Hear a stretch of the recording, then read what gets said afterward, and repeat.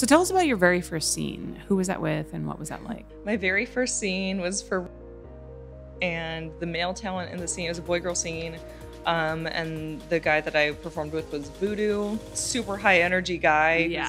He's, he's Canadian, I think, and Huge penis. huge wiener, huge, Yeah. huge. Because I remember, because it was like a month or so after we shot that, my first scene with him was when he did that whole thing where he like had sex with someone while they were skydiving. He's a really cool guy. Like it was a very fun scene. I think it was like kind of like a perfect first experience. Mhm. You know, he made me feel super comfortable. That's really good. great, yeah. It's it's so important for that first scene to be with the right person